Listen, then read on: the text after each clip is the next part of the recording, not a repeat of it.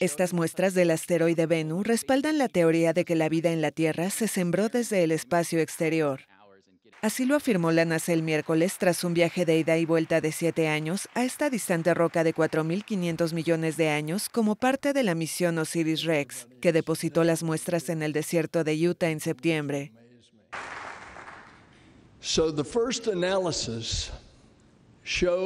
El primer análisis arroja muestras que contienen abundante agua en forma de minerales acrillosos hidratados.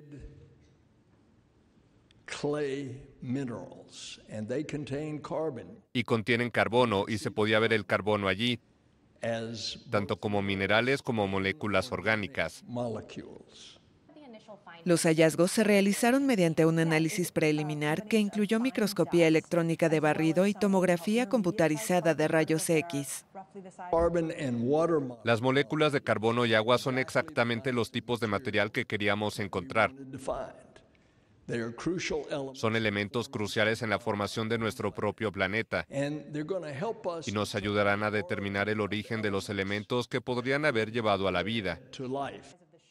Los científicos creen que la razón por la que la Tierra tiene océanos, lagos y ríos es porque fue golpeada por asteroides que transportaban agua hace unos 4.000 o 4.500 millones de años, lo que la convirtió en un planeta habitable. El descubrimiento fue revelado en un evento de prensa en el Centro Espacial Johnson en Houston. ¿Por qué hacemos esto? Porque en la NASA estamos tratando de descubrir quiénes somos, qué somos de dónde venimos, cuál es nuestro lugar en esta inmensidad llamada universo.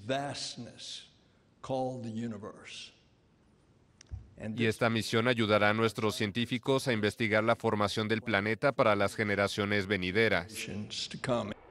Japón ya había traído materiales de asteroides dos veces en 2010 y 2020 pero la cantidad obtenida ahora, de aproximadamente 250 gramos, supera por mucho los 5,4 gramos traídos anteriormente. Hasta ahora los investigadores no han centrado sus esfuerzos en la muestra principal, sino en las partículas adicionales descritas como polvo negro y restos que recubren el recolector de muestras. La NASA dice que preservará al menos 70% de la muestra en Houston para futuros estudios, una práctica que comenzó en la era Apolo con rocas lunares.